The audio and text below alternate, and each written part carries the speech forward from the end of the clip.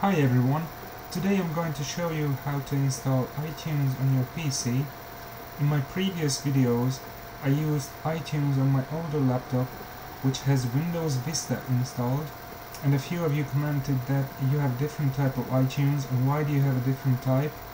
The reason is there are different versions of iTunes available depending on your PC. For 32-bit systems, just like my Windows Vista, there is version 12.1.3 for 64-bit systems, basically Windows 7 or later, you should have version 12.4.3.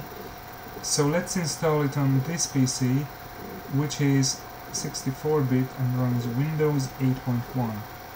Open a browser,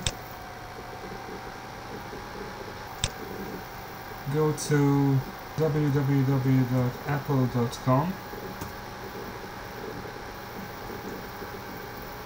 scroll down to the small print and click on iTunes and download. Or you can just type in www.apple.com forward slash iTunes forward slash download. The iTunes available for my PC is 12.4.3 just press download now and it's downloading.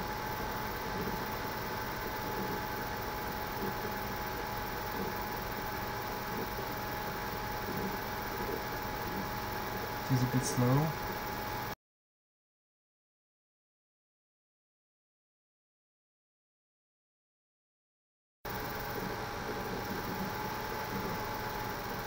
It's finished downloading.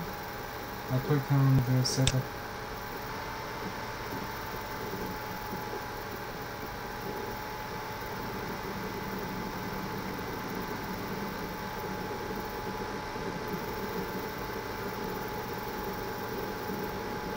Welcome to iTunes. Just click next.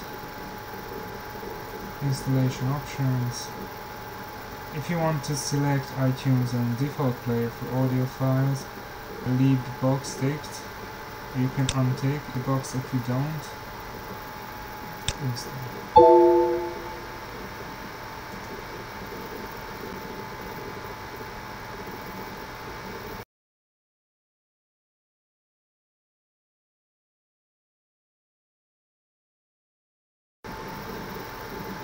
Congratulations, iTunes has been successfully installed on your computer.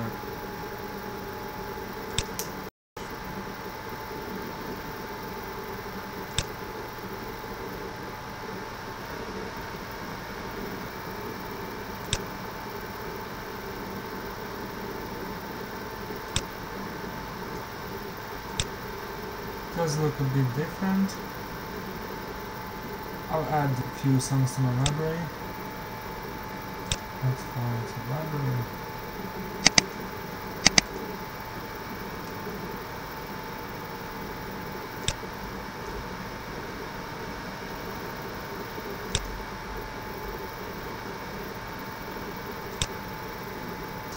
That's basically it. Thanks for watching.